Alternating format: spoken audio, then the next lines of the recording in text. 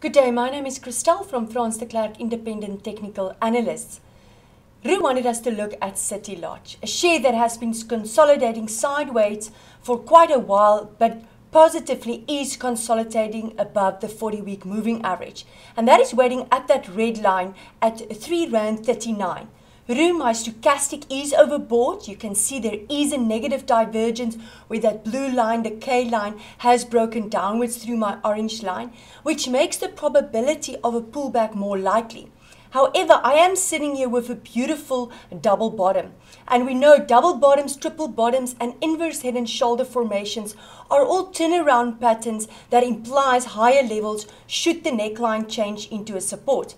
And the neckline of this double bottom is waiting at 3 Rand 92. That is the critical level that needs to remain a support. The conservative target of this double bottom is the length of the right or the left leg projected upwards from the neckline where the formation was confirmed, which means City Lodge can possibly go to 5 Rand 49. My first warning will be below the 49 moving average, but the optimism around this formation will only become obsolete when these support levels at 247 and 233 starts to change into a resistance. In other words, the bottom part of this double bottom, only when that level starts to change into a resistance will the optimism of my double bottom become obsolete. But keep an eye on that stochastic. It might keep you in wonder uh, for a longer time. Truworths.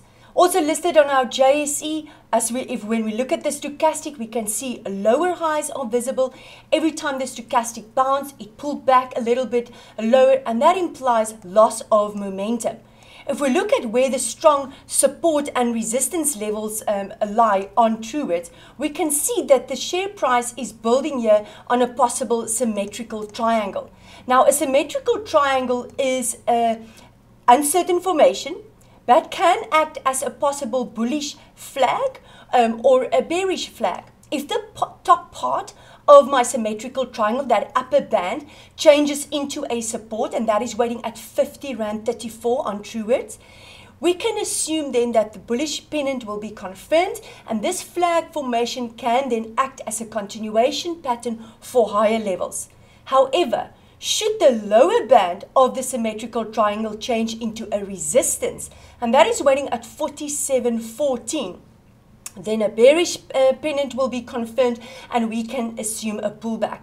Take note here, Rian, on Truworths, there is a window on the weekly graph that is waiting between 37 Rand 10 and 38 Rand 75. And remember, a window is a nice magnet. So if the sellers become stronger, they can easily take the share price all the way back to close that window.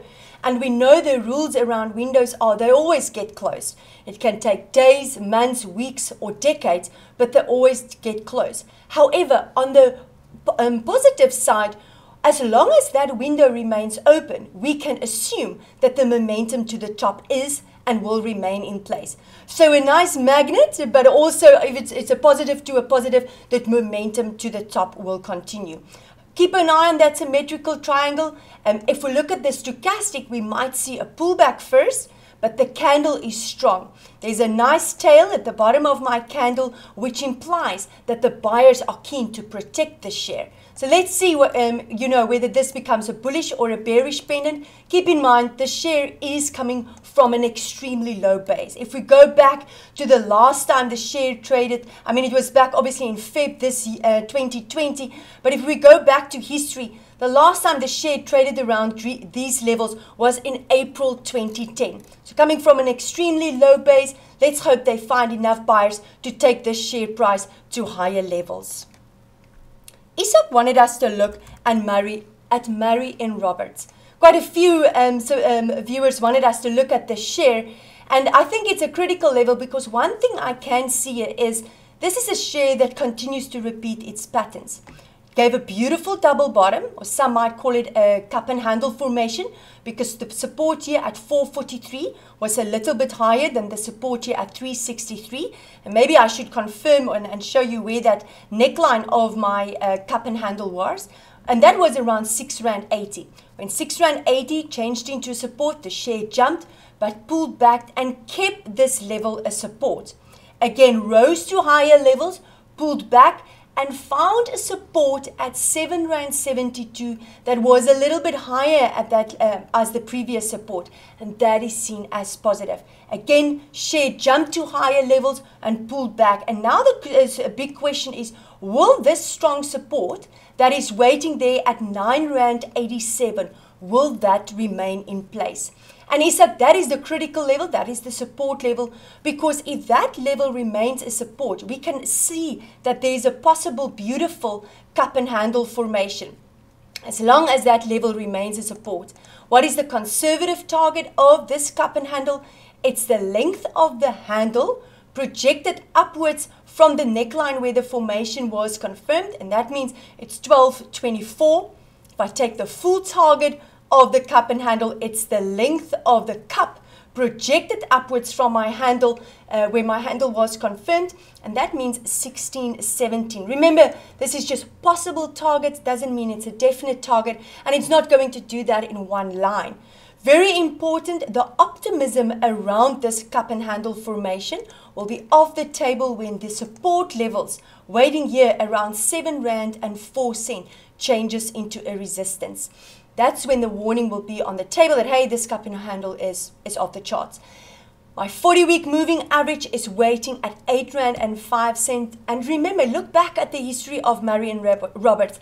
Time and time again, the shares tried to change this 40 week moving average into a support. It just couldn't manage to do that. But in October last year, for the first time, it did it pulled back but kept that 40 week moving average as support. And that is seen as very positive. It tells me that the long term sentiment towards this share is positive. My stochastic is in no man's land. It's sitting here at a 62. But my favorite, that blue line, the K line, that's the one that moves a little bit faster than the orange line, orange line, the D1.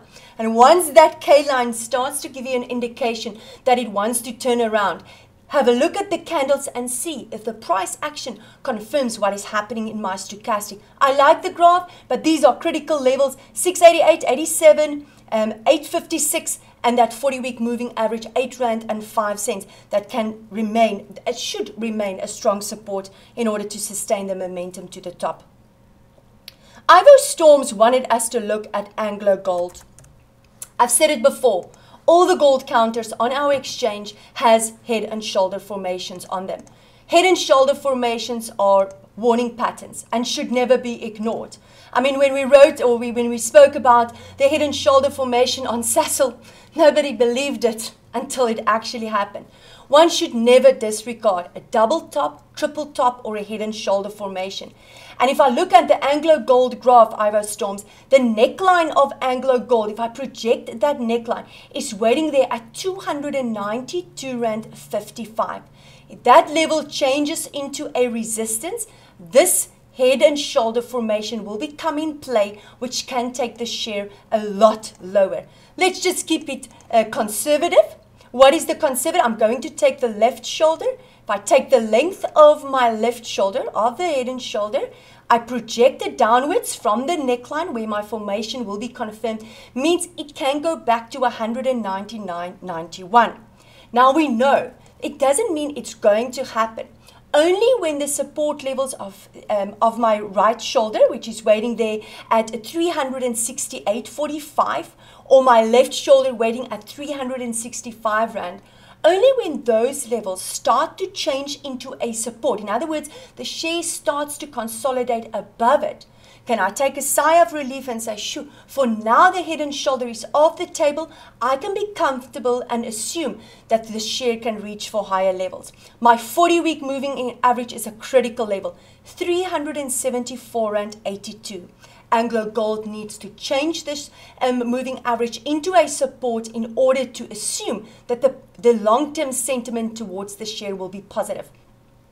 Your first warning here was when back in November, the second week of November, and the, the third week of November, when the, the, when the Anglo Gold share price could not change that 40 week moving average into a support, that's when the first bell rang and said, Be careful because we can expect lower levels. That means there's not enough buyers to protect the share price to higher levels. Now, I quickly just want to add maybe the gold price here, which will give you an indication. But because as quickly as, as a gold share can pull back, it can just as quickly rise again. And we've spoken before about the inverse cup and handle on Anglo Gold, on, on gold. But the support that needs to re remain on the gold price is $1,770. The resistance that needs to change into a support is at least $1,848. And that is where my 40 week moving average is waiting. Yes, my stochastic has bounced, but look at that blue line. It already looks like it is running out of steam. So keep an eye on the gold price. Yes, we maybe uh, think that the rand might weaken a little bit because of the oversold stochastic on that uh, USD uh, ZAR currency pair, but the 40-week moving average on my gold price needs to change into a support if we want to believe that there will be another rally and a bounce in our gold counters. Lucky wanted us to look at the um, cryptocurrency BNB USD. I mean, Binance Coin, many of them just continue to rally to higher levels. And we can see here, Lucky, small pullbacks, massive rally. Small pullbacks, massive rally. So the only thing you can do at the moment if you want to take profit, is use the lows of the uh, weekly candles or daily candles, depending on how active of a trader you are, is to identify and use those as support or resistance.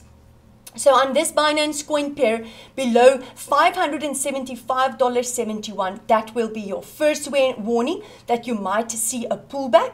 And then the second one is waiting there at $663.64. Keep an eye on that stochastic. Yes, it is overbought, but those blue and orange lines are, are pointing upwards, which tells us that the momentum to the top is in place.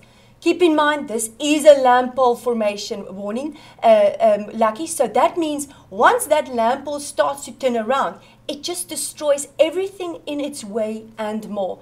So always keep a protection level in, in play and have a look at, at you know, where you can possibly take profit. Above that high of $704, we can assume again that the momentum to the top can continue and that this Binance coin can reach for a brand new record high.